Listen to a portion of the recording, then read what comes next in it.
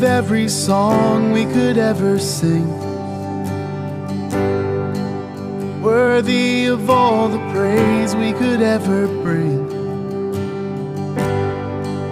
Worthy of every breath we could ever breathe. We live for you.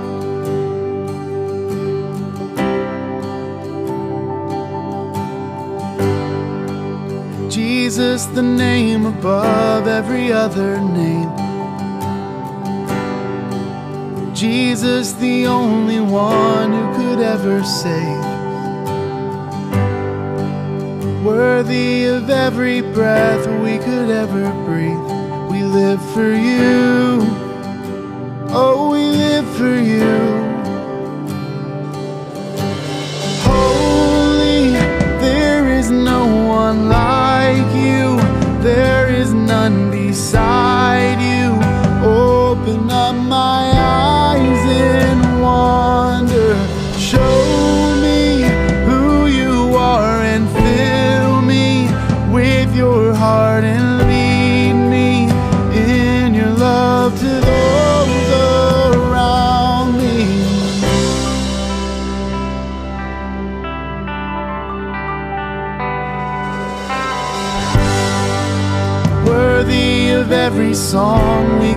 Ever sing. Worthy of all the praise we could ever bring.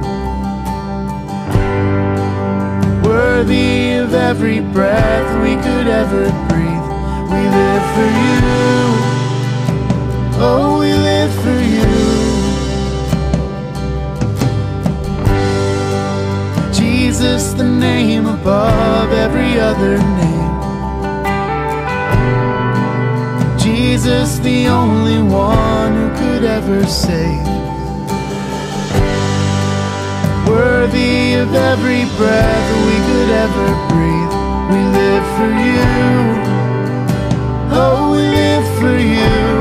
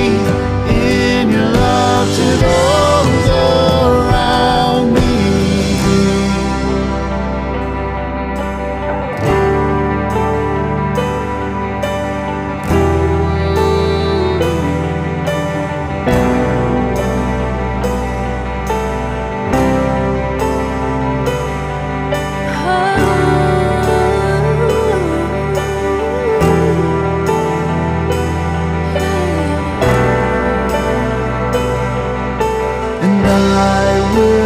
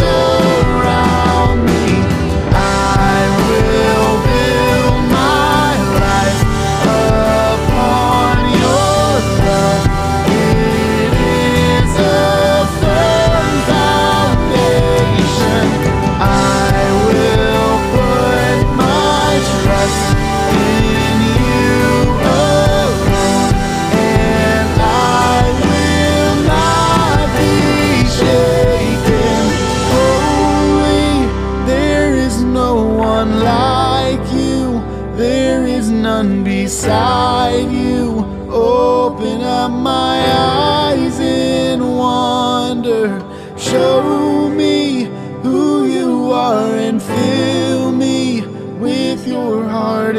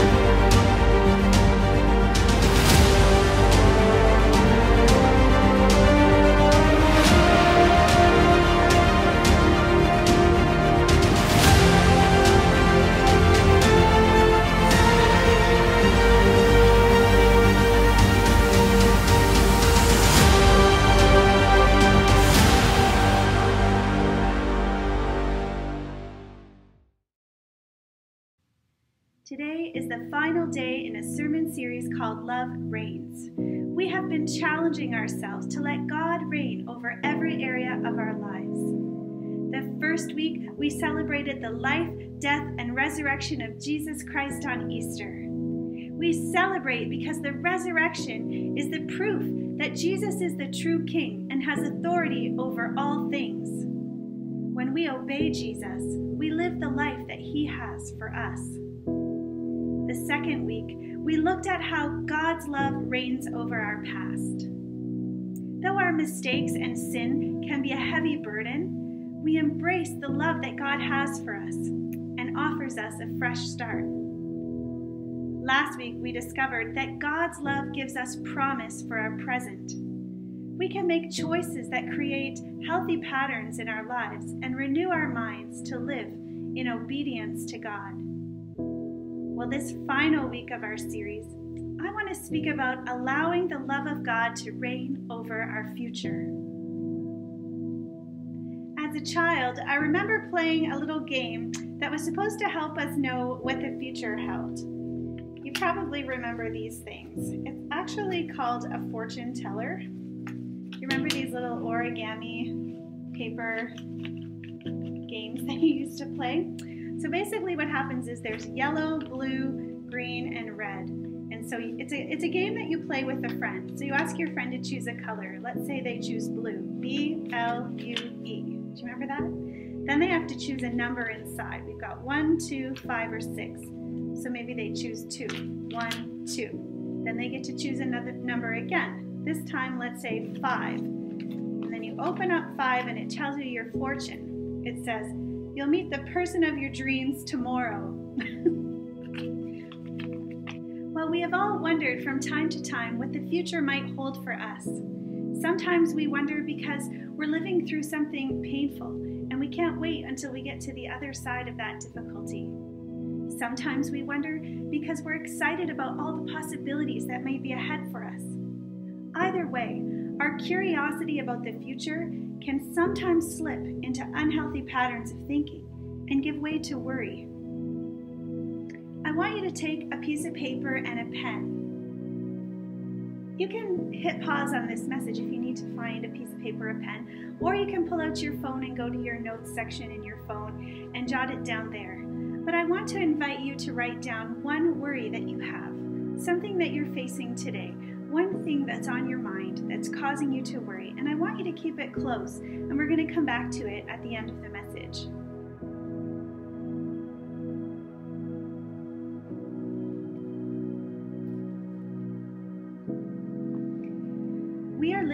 A season of great uncertainty, and studies reveal that COVID 19 is having a negative impact on Canadians' mental health, with many seeing their stress levels double since the onset of the pandemic.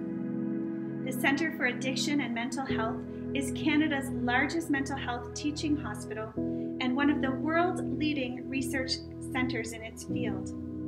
Their findings show people are struggling with fear and uncertainty about their own health and their loved ones' health, concerns about employment and finances, and social isolation that comes from public health measures such as quarantining and physical distancing. A recent poll found that 50% of Canadians reported worsening mental health since the pandemic began, with many feeling worried and anxious.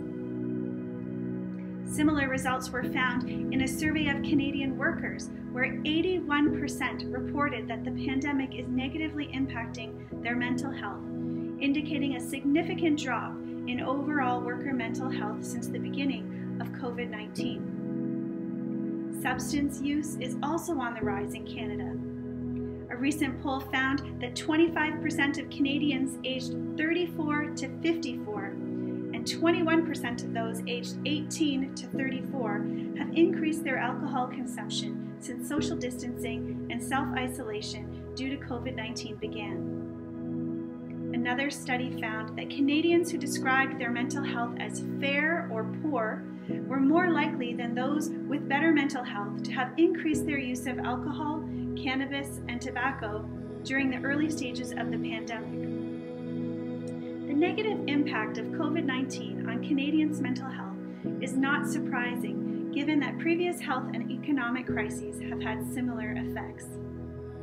So let me just say it everyone worries. And especially right now, it is normal to be experiencing increased levels of stress and anxiety due to the ongoing COVID 19 pandemic. The good news for us today is that the Bible offers us a framework to help us understand and appreciate the struggle that is to worry. And what's more, it offers us rich truths that remind us that our God is able to meet us in our struggle, to comfort us, and to walk with us. Before we get into our text, there are a couple of distinctions that need to be made. Well, many of you know that our daughter Julia is studying psychology. When discussing this message, she explained that a level of anxiety is actually a good thing. It can be a positive motivator. An example of this would be a test that's coming up. You might have some anxiety about it. Well, that anxiety causes you to grind out some time to study for the test, and as a result, you get a better mark. Anxiety disorders, on the other hand, occur when anxiety does not result in a positive outcome, but instead becomes debilitating or crippling. I found this fascinating because the Bible also refers to positive and negative anxiety. In the positive sense, it's proper concern, and in the negative, it's problematic obsessive anxiety. Here are a couple of positive examples. Philippians 2 19 to 20. Again, positive examples are referring to proper concern.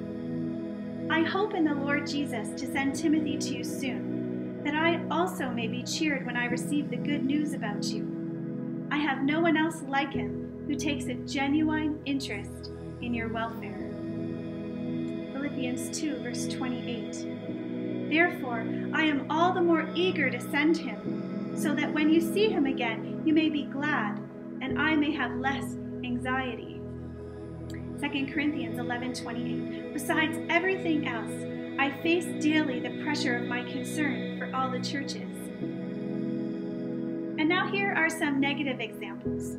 In Philippians 4, verses 4 to 9, Paul says, Do not be anxious for anything. In Matthew 6, 25 to 34, as well as Luke 12, 22 to 34, Jesus teaches on worry and clearly tells us this kind of worry is something we should fight against.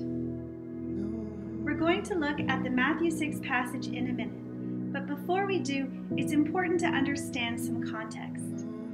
In his teaching of the Beatitudes and the Sermon on the Mount, Jesus is teaching about the difference between living for the kingdom of this world and living for the kingdom of God. Essentially, he's teaching us about worldliness And this involves allegiance to things of the world, things that have been created, even good things. This divided loyalty or distraction is what creates worry. Tim Lane says it like this We begin to experience worry because this world is not substantial enough to produce stability, confidence, and peace. This can happen if you make your health, finances, marriage, children, career, or anything else in creation ultimate in your life. If you look at Jesus' teaching, he talks about making food, clothing, and shelter what you strive after and make most important. Those are examples of good things morphing into what you live for.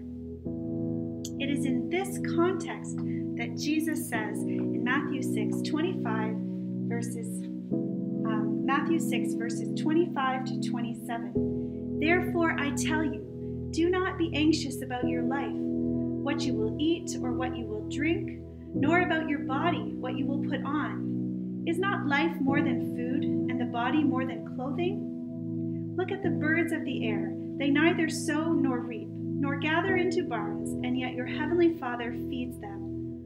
Are you not of more value than they? And which of you, by being anxious, can add a single hour to his span of life?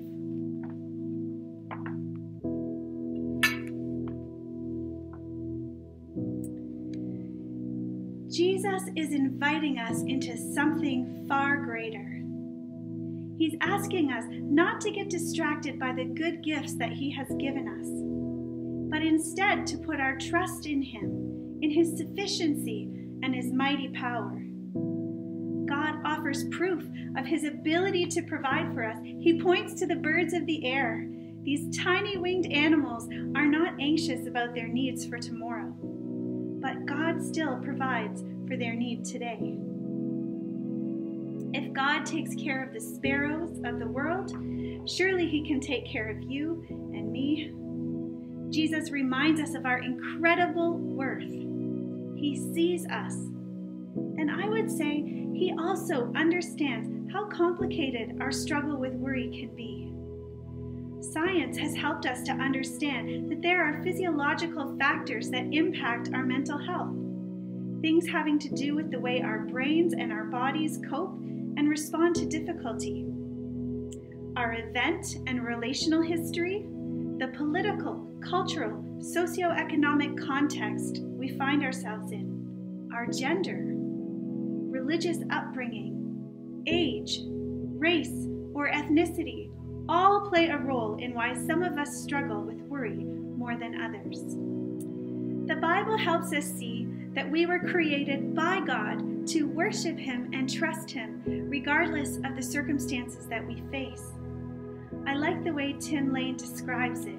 He says this in support of the biblical framework it offers something that no theory of change offers a personal, loving, redeeming God who becomes a human being, lives, dies, and is raised from the dead to give us new life, wisdom, and power to live in relationship with Him. We are loved by God, and therefore He will provide for us today. Our future is in good hands when our future is under God's control. We must allow ourselves to trade what we don't know about the future for what we do know about the love that God has for us. It reminds me of the line in the Lord's Prayer that is prayed in churches all around the world. We pray, Give us this day our daily bread. Give us what we need for today, God. Not too much so that we might forget about trusting you for our future, not too little that we're tempted to try and figure it out on our but just enough for today. It's how we learn to trust God, even when we do not know what is around the corner. Trusting God for the future instills deep hope that He is there before we ever even get there. Jeremiah 29:11 says, "For I know the plans I have for you declares the Lord, plans to prosper you and not to harm you, plans to give you hope has a preferred future that he longs for you to live. We experience it when we begin to let go of trying to control everything and we start to submit to Him, to follow His lead. Worrying about the future does not have any positive effects. It only causes us to be paralyzed by fear. The question is how do you know when opportunities in the future are God's plan? There are three simple questions that you can ask yourself to help you determine God's leading in your life. Number one, does this opportunity align with Scripture? Would you be violating some kind of direction that has already been given to us in God's Word? If so, there is a good chance that it is not a part of God's plan for you. Number two, will this opportunity make me more like Jesus? If you take part in this activity or make this decision, will it make you more Christ like? If it will shape you and mold you into the person God desires you to be, then there is a good chance this could be a part of God's plan for your future. Number three, will this opportunity benefit others? Will this decision result in the blessing of other people around you? God is always looking to use willing people to help serve others in need. This may be a good indication that this is the thing that may be a part of God's plan for your life. Well, Jesus gives us a way to ensure that our future falls in line with His will for our lives. It's about priority. Some of us have our priorities focused on the wrong things because we are nervous about the future. Well, Matthew 6 28 to 34 says, why are you anxious about clothing? Consider the lilies of the field, how they grow.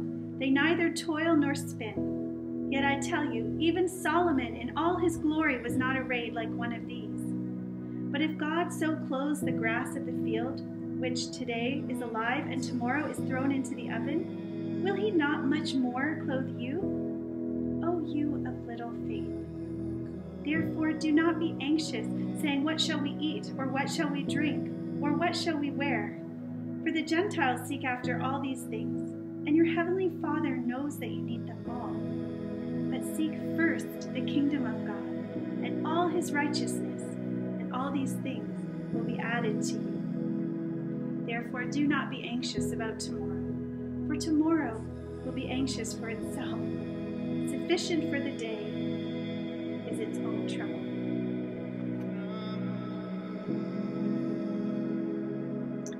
Verse 33 says to seek first the kingdom of God. This should be our priority living to see the kingdom of God come to earth should be the defining aspect of our lives. Rather, many of us are focused on increasing our popularity status on social media, finally getting the house on the lake, or finding true love. These things are not bad in themselves, but they can cause us to veer off track as our life progresses. Jesus says if we seek God first, then everything else has a way of falling into place. When we seek God first, when we come across a new relationship, they are most likely the kind of person that God would want for us. When we seek God first, we live life with humility, and that becomes what we are known for. When we seek God first, desires look more like the things that God would want for us. Well, we all have so many days in our lives. Our future must be stewarded well. The author of Psalm 90 had this concept in mind when he wrote in verse 12 So teach us to number our days that we may gain a heart of wisdom. The author is writing a prayer. He is asking for awareness so that he uses the days of his life in a manner that honors God and honors people. Do you remember how shocking it was when the iPhone started alerting you to your weekly screen time usage? It measures how much time you spend in the various categories like social, games, productivity, and finance. I still cringe when I look at it because time sure gets away from us when we're on our devices. Well, a survey from a few years ago revealed some astonishing information about how people spend their lives. In a lifetime, the average person will spend six months sitting at stoplights. eight months opening junk mail. One year looking for misplaced objects. I can believe that one. Two years unsuccessfully returning phone calls. Four years doing housework, uh huh. Five years waiting in line. And six years eating. Well, that one's not so bad. As we consider these things, it's important to evaluate the way that we spend our time, our energy, our attention, and our affection. This can also be an indicator of what we're living for. And when we begin to fall into excessive worry, let us ask ourselves these important questions. To whom will we look to for security and safety and stability in an unstable world? Where is our treasure? The answer to these questions will reveal what or who we are living for and why we might be struggling with worry. In light of this, we can return to the truths of God's Word, where we discover again that God wants to meet us where we are and invites us to put our trust in Him. We can allow Him to reign over our future. Now, this benediction from 2 Thessalonians 2 16 to 17. May the Lord Jesus Christ Himself and our God and Father, who has loved us and given us everlasting consolation and good hope by grace, comfort your hearts and establish you every good word and work. Amen. Now remember that piece of paper from the beginning of the message? I want you to flip it over on the side without anything written. I want you to write a prayer about how you want to spend your time and how you want God to turn your worry into worship. May God bless you.